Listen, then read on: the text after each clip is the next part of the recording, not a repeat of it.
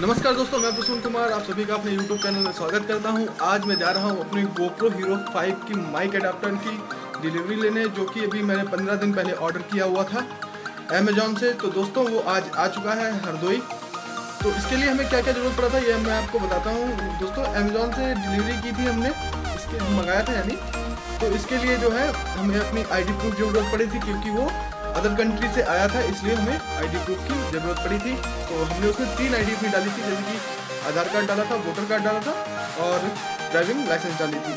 तो अब वो आ चुका है हमारा पार्सल यही मेरे जो डिस्ट्रिक्ट है, हरदोई, वहाँ आ चुका है। तो शायद उसका ये प्रोसेस है कि वो पार्सल जो है, आपके घर तक नहीं आता है। जैसा कि उन्होंने मुझे फ़ोन करके कहा कि भाई आ जाओ अपना पार्सल ले लो आके और एक आईडी यहाँ पे वेरीफाई करा दो आके।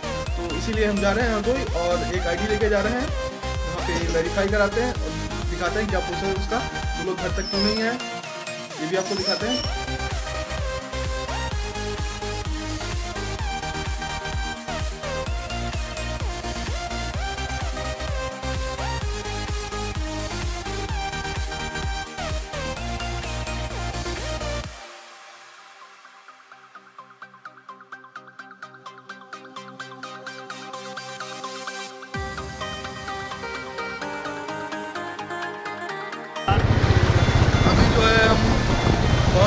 हैं दो जा रहे हैं ब्लू डॉट जो कि घर होटल रेलवेगंज में है तो वहीं पे हमको जाना है, वहीं पे हमें अपना पार्सल उठाना है।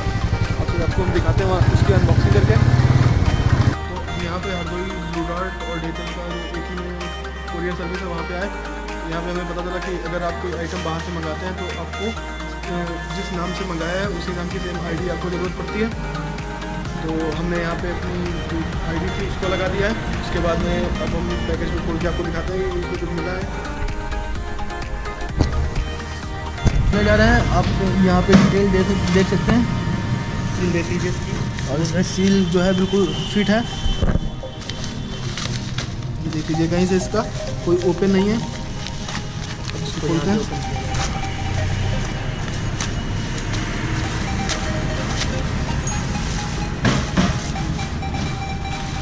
तो ये पैकेज है गोप्रो का।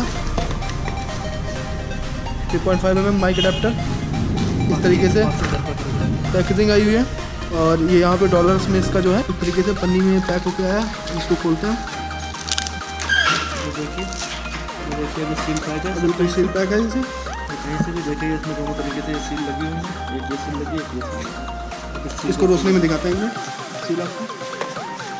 जैसा कि ये देख सकते हैं, यहाँ से ये टेप की एक सील लगी हुई है और ये एक सील लगी हुई है, इसका बार कोड है। इसको ओपन करते हैं। इसको ओपन करने के लिए जो है हम की का यूज़ करते हैं। ओपन करते हैं।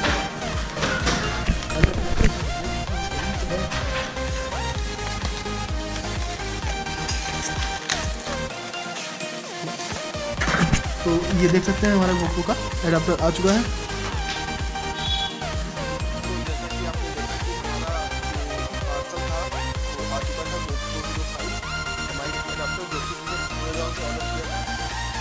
आपको ये बताता हूँ मैं कि अगर आप कहीं बाहर से कुछ अपना पार्सल मंगाते हैं, जैसे अदर कंट्री से ग्लोबल अमेजोन ग्लोबल एक ऑप्शन आता है, अगर उससे आप कुछ मंगाते हैं यानी अदर कंट्री से तो आपको क्या क्या करना पड़ता है? तो दोस्तों, सबसे पहले जब आप अमेजोन से अपना पार्सल मंगाएँगे तो जैसे ही आप पार्सल को ऑर्डर करेंगे तो अमेजोन एक आईडी मांगेगा कि आपको आईडी वेरीफाई करने के लिए एक आईडी मांगेगा कि आपको आईडी एक अपलोड करनी है उसको। और जो आईडी अपलोड करें, उसको ऑप्शन देता है वहाँ पे आप अपना वोटर कार्ड पहचान पत्र, यानी वही वोटर कार्ड पहचान पत्र, आधार कार्ड और पासपोर्ट होता है वो वहाँ पे डाल सकते हैं और ड्राइविंग लाइसेंस भी डाल सकते हैं तो उसके बाद में जब वहाँ से अमेज़ॉन जो है अपना ये कंप्लीट कर लेगा उसके बाद में अमेज़ॉन जिस कोरियर कंपनी के थ्रू अपना भेजेगा पार्सल वो कोरियर कंपनी का मैसेज आएगा आपके पास, कि आपको एक बार फिर से अपनी आईडी को वेरीफाई करना है। तो दोस्तों, वहाँ पे आपको दो आई डी वेरीफाई करनी होती है। जैसे कि आपको बताया दो आईडी आप है जैसा कि मेरा पार्सल एयरबैग से आया हुआ तो ये प्रोसेस लगा हुआ उसके बाद में जब आपका पार्सल यहाँ आ जाएगा तो आपको पार्सल लेने वहाँ जाना पड़ता है। क्योंकि एयरमैक्स का क्या कहना है कि अगर आपको वहाँ पे आईडी एक जो है, वहाँ पे जमा करनी पड़ती है। एयरमैक्स कंपनी जो है, वो अपने घर तक पार्सल डिलीवर नहीं करती, क्योंकि वहाँ पे आपको आईडी जमा करनी पड़ती है, क्योंकि वो फॉरन से आया हुआ होता है। तो इसलिए आपको एक आईडी की, जिस नाम से आपने पार्सल मंगाया हो, उसी नाम की आईडी आपको वहाँ पे फ़ोटो कॉपी वो लोग लेते हैं तो वहाँ पे आपको जमा करनी पड़ती है। तब वो आपका पार्सल दे देंगे। तो ये तो था प्रोसेस अमेजोन से आप अगर कोई चीज़ मंगाते हैं, बाहर अदर कंट्री से तो उसके लिए thanks for watching like and subscribe